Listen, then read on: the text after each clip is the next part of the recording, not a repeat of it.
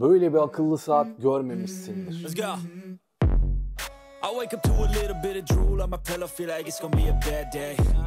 Yeah, I'm tired of shit, and the coffee ain't hit yet. Damn, ain't that great. I don't wanna go to work, cause my boss is a jerk, and I'm not even that paid. I need a change in my life, cause I don't feel alive, and there's nothing that makes me happy. Oh, Selamlar kanalıma hoş geldin. Bugün H12 Pro Plus akıllı bir saat inceleyeceğiz. Kutusunu da görmüş olduğunuz gibi gerçekten replikalar arasında en iyisi diyebilirim sizlere. Ben Beşiktaş'ta takılıyordum yani böyle dolaşıyordum arkadaşımla. Bir elma mağazasını gördüm. Bu saati alma fikri aklımda yoktu fakat birkaç arkadaşımız hem Instagram'dan hem de YouTube yorumlarda işte abi H12 Pro Plus var daha önce incelediğin saatler için söylüyorum. Bunu da inceleyebilir misin gibi birkaç soru yöneltmişti. Motosikletimle yola çıktığımda tam evime dönerken bir baktım bir elmanın mağazası bulunuyor. Ve daha öncesinde de zaten görmüştüm onları. Saatleri güzeldi en azından kurumsal yani bir iletişim bulabilecektim ben bu saati aldığımda.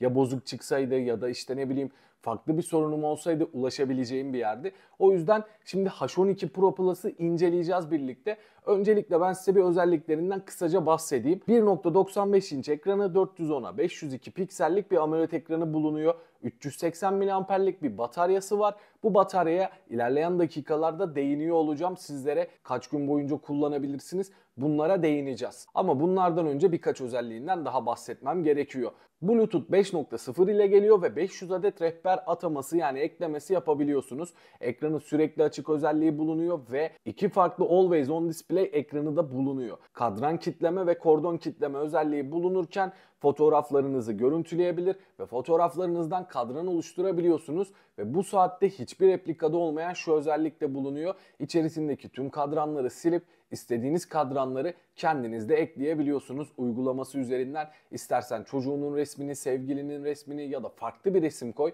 ya da benim gibi Black Panther hastasıysan Black Panther resmi bile koyabilirsin. Ekran kalitesi çok çok iyi olduğu için resimleri de eğer kaliteli bulursan indirip kendi telefonundan uygulamadan yüklersen tadından yenmez. Saate müzik yükleyebilir ve istersen de direkt saate bluetooth kulaklığını bağlayabilirsin. Bu açıdan da birçok replika saatte olmayan bir özelliğe sahip. Bildirim gelince saatinize otomatik olarak ekran uyanıyor ve bildirim asılı kalıyor. Eğer ki bildirimi kaçırdıysanız da direkt bildirimler menüsüne girdiğinizde bildiriminizi görüntüleyebiliyorsunuz. Çok uzun mesajları kırpabiliyor. Birazcık bu bir dezavantaj. Onun dışında gerçekten artısı yüksek bir saat ama birkaç dezavantajı daha var. Onlardan da bahsediyor olacağım. Ben de saati sizlere anlatırken siz arka planda sürekli saatin detay görüntülerini görüyorsunuz ve bu sayede saati alacaksanız veya kullanmayı düşünüyorsanız ne gibi özellikleri var, görünümü vesaire bunları görmüş olacaksınız. Saate 500 kişiyi ekleyebiliyorsun rehberini ama rehberi eşitlemesen de telefonunda kayıtlı olan isimler saat üzerinde gözüküyor. Bence bu da bir artı avantaj. Saatin görmüş olduğunuz gibi kutusu bu şekilde. Eğer bakacaksanız farklı kutular değil de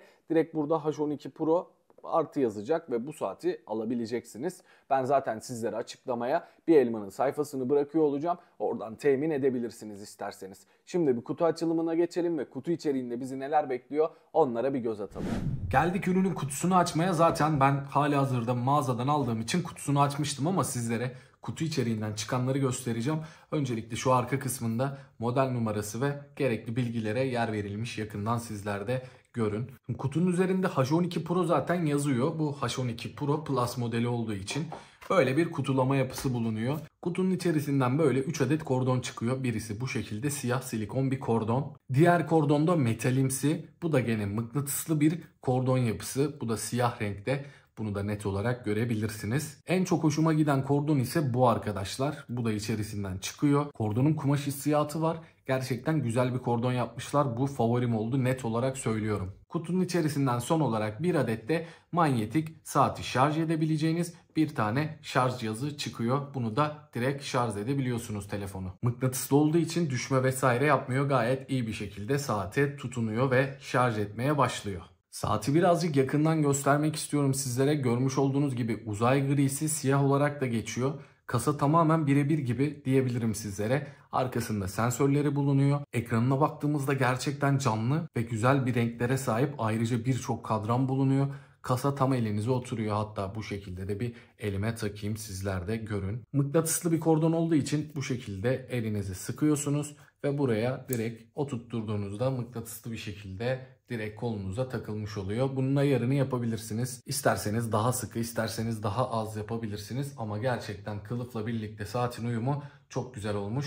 Saatin detaylarını zaten sizlere anlatıyor olacağım. Kutu içeriği böyleydi. Menüden fotoğraf albümüne geldiğinizde buraya yüklemiş olduğunuz saat içerisindeki fotoğrafları görüntüleyebiliyor ve kadran yapabiliyorsunuz. Gerçekten gördüğünüz gibi kalite çok iyi olmuş. Ben bunu beğendim. Saatin içerisinde olan müzikleri ve telefondan açmış olduğunuz müzikleri kontrol edebiliyorsunuz. İleri geri ses açma vesaire. Ses kaydı yaptığınızda cihaza kaydoluyor ve bunları da dinleyebiliyorsunuz. Tabii ki de ses kaydı sadece hani bir şeyi kaydetmek istediğinizde telefon yerine saat üzerinden mikrofonundan kaydını yapabiliyorsunuz. Görmüş olduğunuz gibi durdurduktan sonra direkt buradan da ses kaydına ulaşabiliyorsunuz. Sağlık verilerine girmeyeceğim. Düzgün de yapsa biliyorsunuz ben çok fazla sağlık verisi kullanmıyorum ve bunları incelemeyi de sevmiyorum. Alarm ekleyebiliyor ve alarm kurabiliyorsunuz. Bu da güzel bir özellik. Birçok saatte olmayan özellikler arasında kronometreyi açabilirsin. Kronometre tutabilirsin gün gün. Hani saat saat bunların hepsini ayarlayabiliyorsun buradan da. Onun dışında bakacak olursak bir hesap makinesi bulunuyor. Hesap makinesini de kullanabilirsin eğer yanında bir telefon farklı bir şey yoksa. Buradan da cihazı elini böyle kaldırdığında ekran açılsın mı modu var. Bunu da buradan açabiliyorsun. Ayrıca QFit uygulamasını kullanıyor. Onu da zaten detay çekimlerini konuşuyorken gösteriyor olacağım sizlere. Burada Facebook, Twitter, WhatsApp, Instagram gibi uygulamalar bulunuyor ama bunlar bir uygulama değil. Buralardan gelen mesajları filtreleyebiliyor ve buradan görüntüleyebiliyorsunuz. Instagram'dan bir mesaj geldiğinde hani bildirim vesaire direkt buraya tıkladığında burada toplanıyor ve bunları görüntüleyebiliyorsunuz. Saatte herhangi bir donma, kasma bulunmuyor. Gerçekten arayüzü ve akışı güzel olmuş. Dezavantaj olarak zaten bakabildiğimizde hiçbir şey görüntüleyemiyorum. Hani yani aklıma bir şey gelmiyor çünkü saat gerçekten fiyatına ve işlevine göre güzel olduğunu söyleyebilirim. Buradan ayarlar bölümüne tıkladıktan sonra burada genelde kişisel bilgiler, genel, e, rahatsız etmeyi modu, ekran parlaklığı en çok güzel olan ekran parlaklığı bence menüsü. Şu anda ben ekran parlaklığını kıstım çünkü patlama yapabiliyor. Parlaklık ekranını zaten her zaman açık yapabiliyorsunuz. Bu güzel bir özellik. Saat kapalı ekranı ise buradan açabiliyorsunuz. Bunda da iki adet seçenek bulunuyor. İstersen sayı, istersen işaretçi koyabiliyorsun. Bu da ne demek oluyor? Always on display yani ekran kapandığında bir saat göstergesi çıkıyor. Bu birazcık pili tüketebilir ama kullanıma bağlı olarak isterseniz yapabilirsiniz. Ses ve dokunma özelliklerini buradan ayarlayabiliyorsunuz. Ben saate şifre koymuştum. Onu da denemek amacıyla şifre verilerini buradan ayarlayabilirsiniz. Ses ve dokunmaya da buradan ulaşabiliyorsunuz. Sessiz moda da alabilirsiniz isterseniz. Medya kontrolünü de yapabiliyorsunuz. Kuvvetli veya güçsüz olarak da ayarlayabiliyorsun. Ben genelde kuvvetli de tutuyorum bunu da söylemek istiyorum. Pil göstergesinin içerisine girdiğinizde burada pilinizi gösteriyor ve tüketim gibi birkaç veriyi gösteriyor. Rahatsız etmeyin modunu açabilirsiniz isterseniz. Buradan rahatsız etmeyince bildirimler gelmiyor. Genel bölümünde ise dil ayarları, tarih, zaman, başucu saat modu oluyor. Başucu saat modunu açtığınızda cihaz şarj olurken direkt ekranda saati görebiliyorsunuz. Bu da güzel bir özellik. Sıfırla vesaire bunlar var. Bilgilendirmede bildirim isteği yani onu kapattığınızda bildirim gelmiyor. Şimdi şöyle yapalım hemen.